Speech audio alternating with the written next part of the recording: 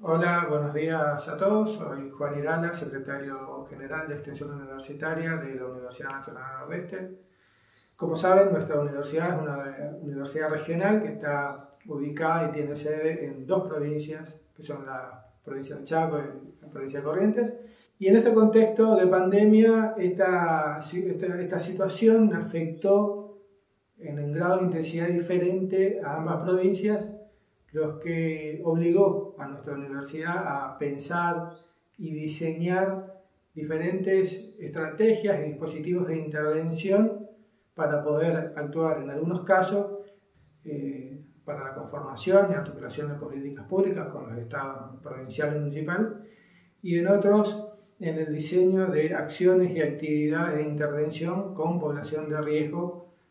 en eh, los diferentes barrios de las eh, ciudades de Resistencia y Corrientes y algunas ciudades del interior de ambas provincias. En lo que tiene que ver con las acciones y actividades específicas que viene realizando nuestra Secretaría y en particular en el área de extensión cultural, hemos lanzado recientemente un calendario de cursos y talleres en modalidad 100% virtual. Hemos adaptado las dos convocatorias y concursos culturales que teníamos programado para este año. El premio UNE a las letras y eh, Play, que es un concurso de videoarte, una modalidad 100% virtual y ya lo estamos lanzando a la brevedad. El departamento de idiomas de nuestra universidad realizó una adecuación total de su oferta académica. Tenemos eh, en la actualidad 140 aulas virtuales con actividad completa y esa adecuación se realizó no sin antes hacer un relevamiento sobre la disponibilidad y acceso a recursos tecnológicos tanto de docentes, estudiantes eh, y tutores, de manera de poder diseñar y planificar eh, toda la oferta eh, virtual que, que venimos realizando.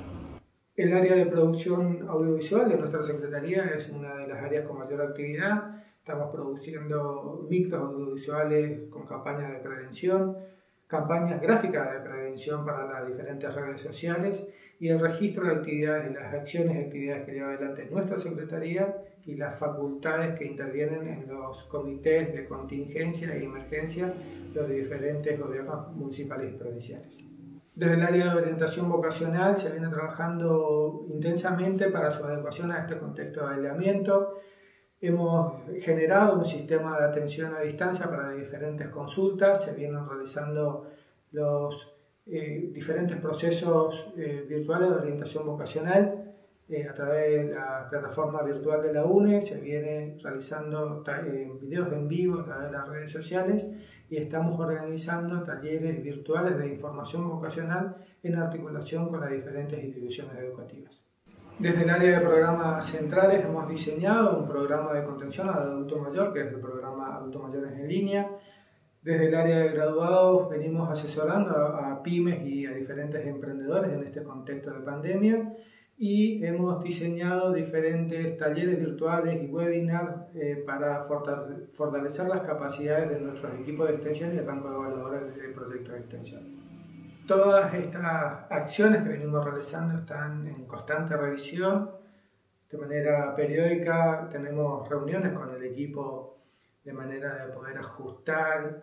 cambiar o fortalecer algunas líneas de comunicación de manera de ser más eficiente esa comunicación y esa interacción con la comunidad.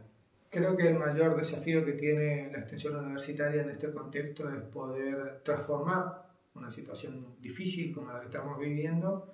en una oportunidad para construir eh, y diseñar nuevas estrategias de intervención y poder construir nuevas redes de trabajo con diferentes organizaciones eh, y entidades del medio.